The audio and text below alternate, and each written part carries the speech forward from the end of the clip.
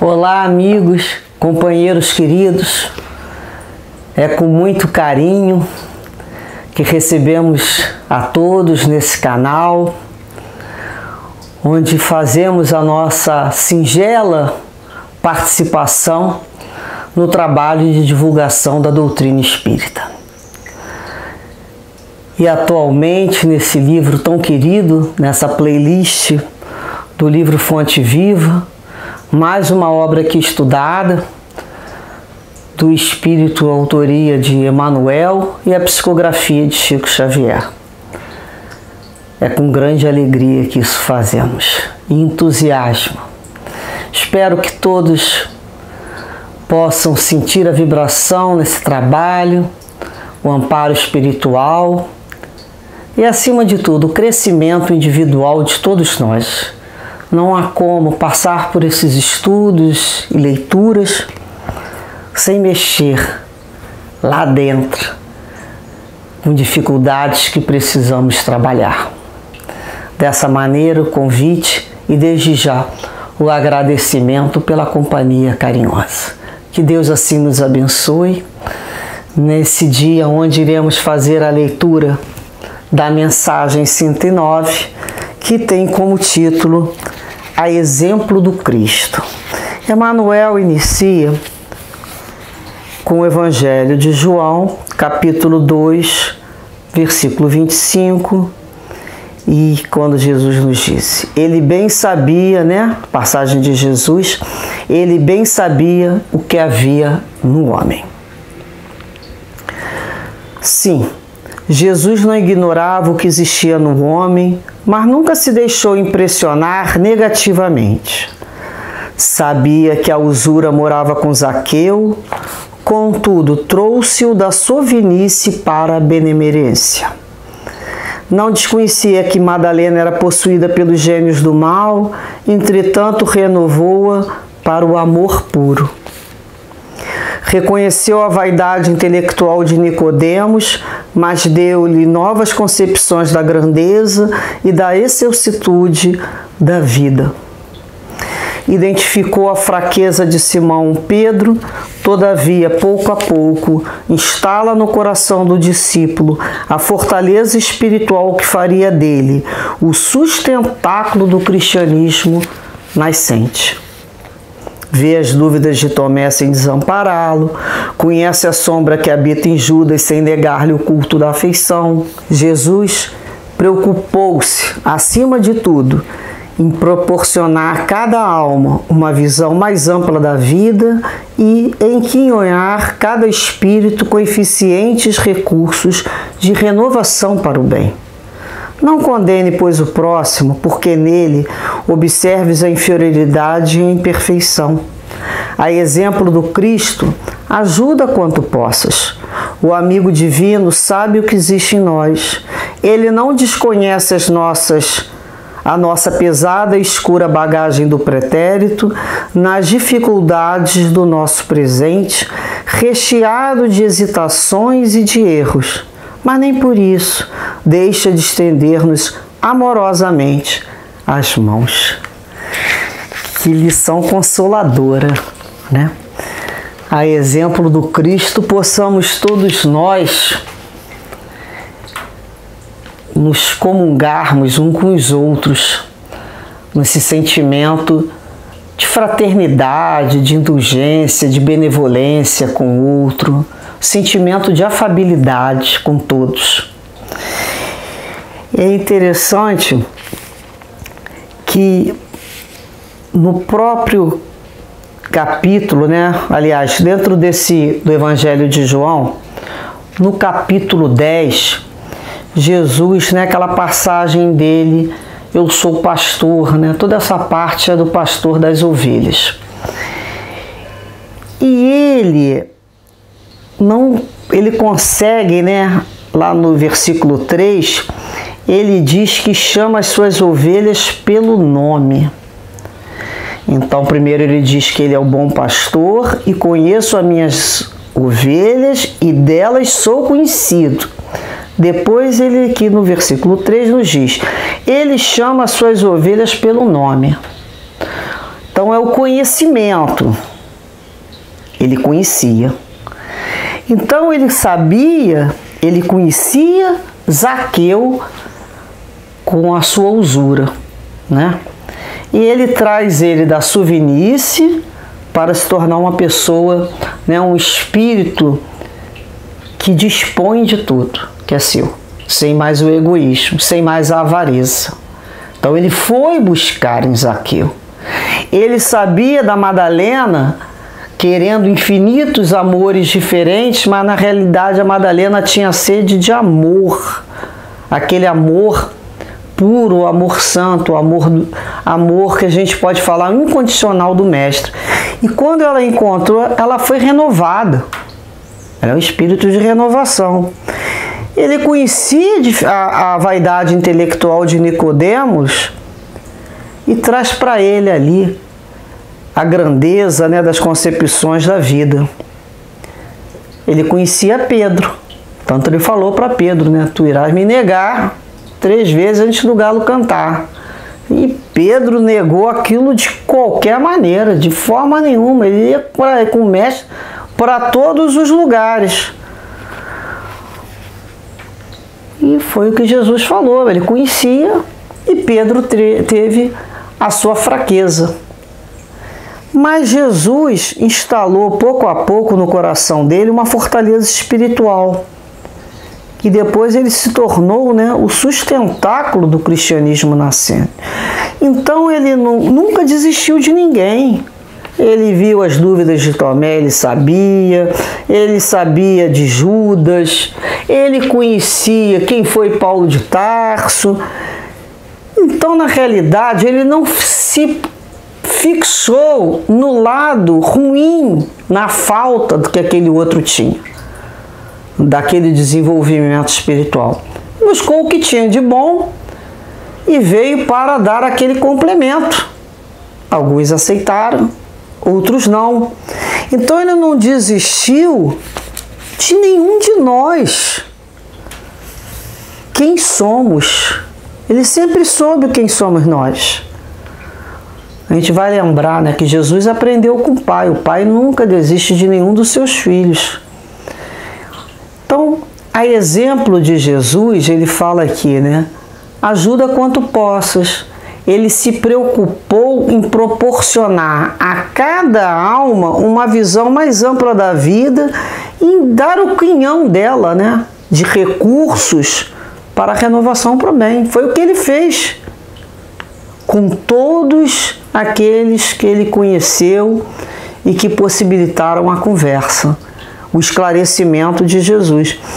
Tem uma passagem do livro é, Boa Nova, psicografia também de Chico Xavier, que tem um, um diálogo de Jesus com Pedro que Jesus fala: o homem é mais fraco do que mal, né? Então a fraqueza do homem ainda em termos espiritual.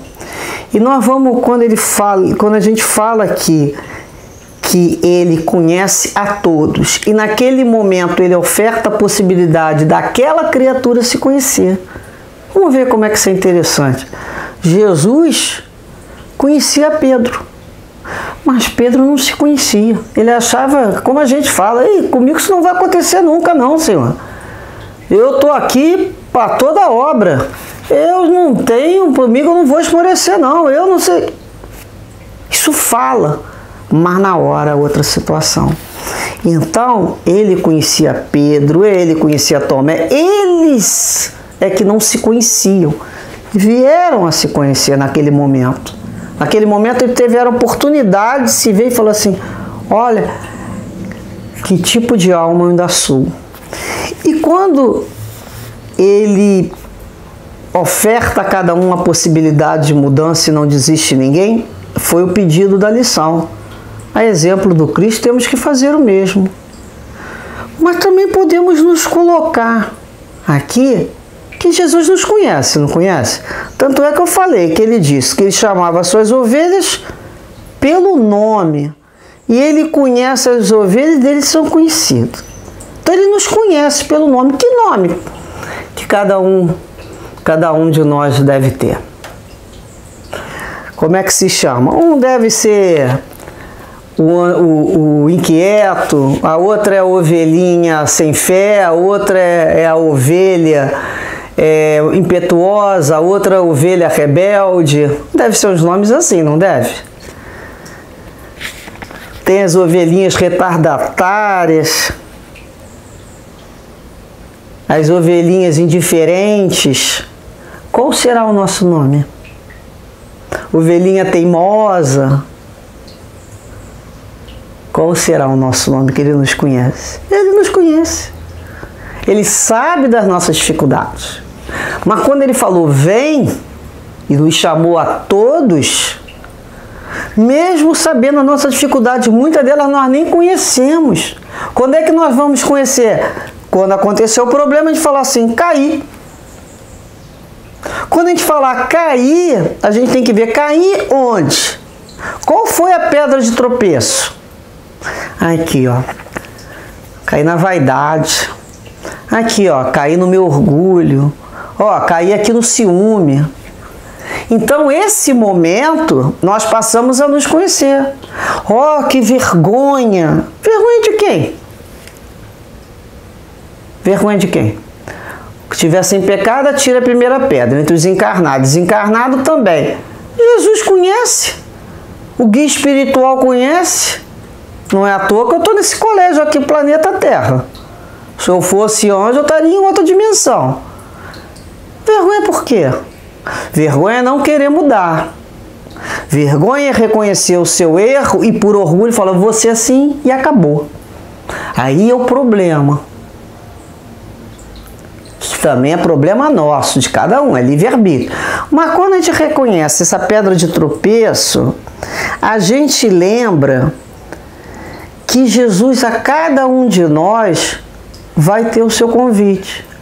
A uma ovelha ele vai dar uma calma no coração, a outra ovelha que é mais fraquinha ela vai, ele vai fortalecer lá o ânimo, a outra ele vai dar um pouquinho mais de responsabilidade, oportunidade, não é assim? Então é quando a gente fala assim, né? O que falta para nós? Sempre um pouco mais de amor e de humildade para aprender com Jesus. Então Jesus quando veio ao planeta Terra, ele veio porque viu luz nessas ovelhinhas desvairadas, viu luz, viu que tinha condições de compreender uma nova etapa de reencarnação, um novo convite. Então ele nos ofertou ali uma nova proposta de crescimento. E é nessa proposta que temos trabalhado há séculos, milênios, quem sabe porque somos ovelhinhas, a maioria de nós, muito rebeldes. Muito cheios de personalidade, no sentido de gênio, de, de, de se colocar. Então, quando a gente começa a pensar assim, será que nós não temos que esvaziar esse conteúdo antigo para receber o novo? A gente começa a lembrar do novo. A gente não está mais a aprender a analisar o outro, a perceber o outro, não destruindo o que ele tem, tentando buscar nele o entendimento para o crescimento. Todos nós um dia seremos mentores espirituais. Já pensaram nisso? Que é da lei do progresso? Que nós iremos caminhar? Então, não podemos desistir de ninguém. Mesmo que naquele momento a criatura não queira, mas a porta estará sempre aberta. Jesus vai encontrar a forma pela qual ele irá ajudá-lo. Quando ele nos disse então, vem, ele sabia das nossas dificuldades e iria nos suprir nessas dificuldades. É isso que nós temos que entender. Quando eu reconheço que eu tenho uma dificuldade, eu peço a Jesus para me suprir. Senhor, eu tenho dificuldade nesse tipo de relação. Eu preciso melhorar. Eu preciso compreender como tem que fazer. Eu tenho que trabalhar meu, não somente o raciocínio vai mais rápido, mas a emoção.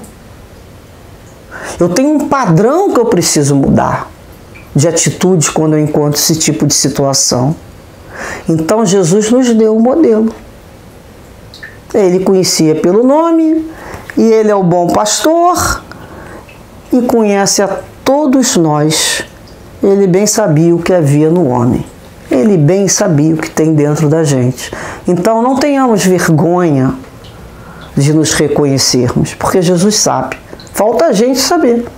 A hora que a gente descobre, olha, já andamos 50% lá do caminho. O reconhecer já é 50%, porque o restante é um processo de operação normal evolutivo. A gente vai não vai mais fugindo daquela situação. Não, eu tenho que aprender a fazer diferente. Eu tenho que aprender a sentir diferente com fulano. Eu vou buscar na prece que os nossos pontos, né, mais, mais bicudo ali, aquelas arestas sejam aplainadas. Me ajuda, Jesus, me ajuda. Eu não tenho esse sentimento ainda. Então, assim, nós iremos caminhar. Companheiros, que possamos, a exemplo do Cristo, cada vez mais desenvolvermos o sentimento de fraternidade, de compreensão com o outro, que possamos abrir realmente o nosso coração para o futuro, olhos à frente o que passou já passou. Vamos entregar a Deus. Vamos aprender a nos liberar de pesos que só atrapalham a nossa caminhada. Vamos nos libertar e é exemplo de Jesus não condenarmos mais ninguém. Cada um terá o seu momento, o seu horário e se Deus permitir, nós iremos observar a evolução do outro e principalmente a nossa. Muita paz aos nossos corações, muita vontade de mudança de comportamento, de sentimento, e que Jesus nos envolva sempre nesse sentimento de confiança com a certeza que Ele nos aguarda e nos acolhe a todos, independente do que somos, mas com a certeza do que seremos. Muita paz, muita paz aos vossos corações.